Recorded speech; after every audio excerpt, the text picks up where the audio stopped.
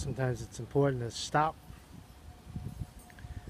Stop and smell the roses. That's right. We're stopping and we're smelling the roses today. Just wanted to put a note out. Oh, look at these beautiful guys. I don't know what they are. Hello. Beautiful flowers. Beautiful Sunday in August, August 20th, 2017.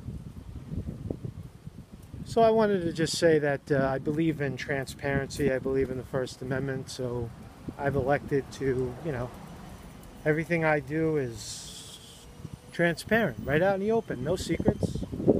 We're going to talk about everything. We're going to we're going to have we're going to let you be the judge. People watching this, you be the judge in Conte versus DSNY.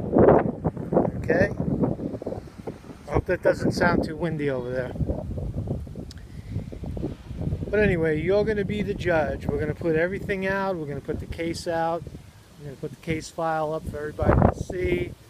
Let all the big shots have their say. Everybody has their say. And we're going to let the panel of four judges decide at Supreme Court, First Department, Appellate Division. But most importantly, you're going to be the judge. Transparency, that's the way it's supposed to work. Not big me, little you, little you, big me. Right? That's how we're going to do this.